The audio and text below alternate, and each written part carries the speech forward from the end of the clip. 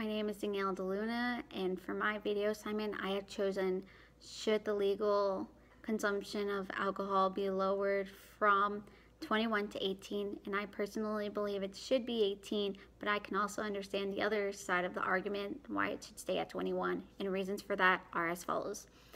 If the drinking age was lowered to 18 that would mean younger teenagers such as high schoolers and middle schoolers possibly would have easier access to alcohol and that would be detrimental to them because they are very young, their bodies and brains are still developing, and that could cause some major setbacks for them later on in life. If the drinking age was lowered, it affects 18 to 20 year olds the most. They could go into a bar, get drunk, and then they'd get on the streets, and that would increase the number of alcohol related car crashes and possibly increase the deaths because drinking while driving. That that just is very bad.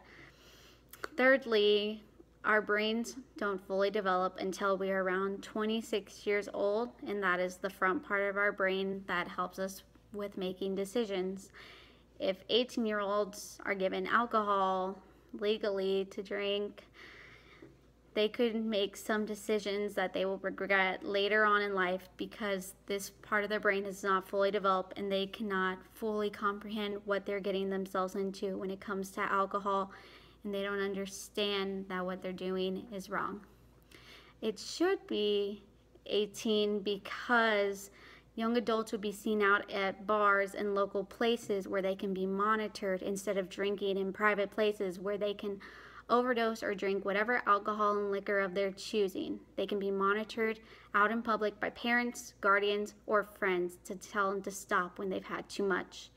Drinking should be a basic right for Americans and all adults.